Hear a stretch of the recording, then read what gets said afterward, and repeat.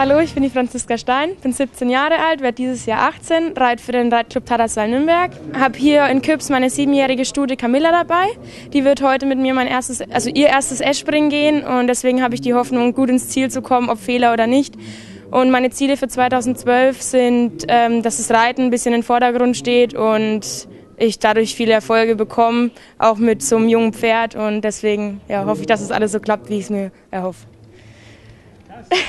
Endlich mal keine Lachen.